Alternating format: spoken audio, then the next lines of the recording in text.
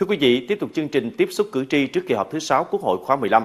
Đoàn đại biểu Quốc hội tỉnh Bà Rịa Vũng Tàu đã tiếp xúc với đông đảo cử tri huyện Côn Đảo. Tại hội nghị tiếp xúc, đoàn đại biểu Quốc hội tỉnh đã thông tin về nội dung chương trình kỳ họp thứ 6 Quốc hội khóa 15, dự kiến khai mạc vào cuối tháng 10 năm 2023. Tình hình phát triển kinh tế xã hội 9 tháng, hoạt động của Ủy ban Thường vụ Quốc hội, đoàn đại biểu Quốc hội tỉnh giữa hai kỳ họp thứ 5 và thứ 6.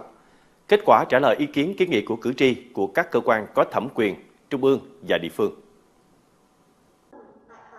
Tiếp xúc với đoàn đại biểu Quốc hội tỉnh Bà Rịa Vũng Tàu, cử tri huyện Côn Đảo kiến nghị tỉnh cần có định hướng, mục tiêu cụ thể để phát triển du lịch Côn Đảo, có giải pháp phát huy hiệu quả hơn nữa giá trị lịch sử và văn hóa từ hệ thống di tích quốc gia đặc biệt nhà tù Côn Đảo.